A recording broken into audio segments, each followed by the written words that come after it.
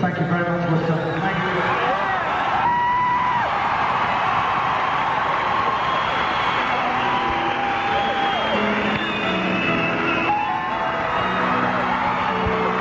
Thank